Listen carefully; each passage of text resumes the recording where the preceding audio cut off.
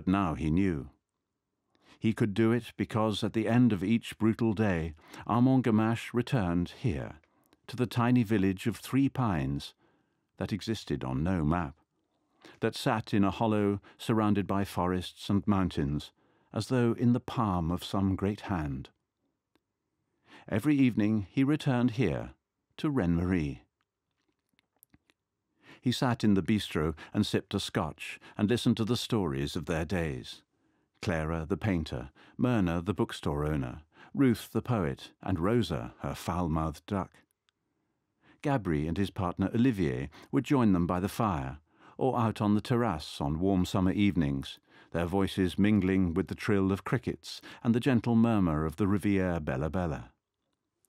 Monsieur Béliveau and Billy Williams and Sarah the baker, and Robert Mongeau, the new minister, and his wife Sylvie, and any number of other friends would be there.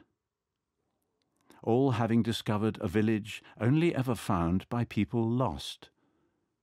Every evening Armand Gamache was reminded that goodness existed, and every morning he drove away to face the horrors, to roll away the stone and step inside the cave, secure in the certainty that no matter what he found, he could always find his way back home.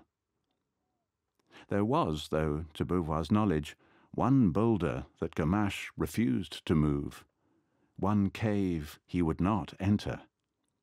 Yes, there was one person, one mind, Armand Gamache feared.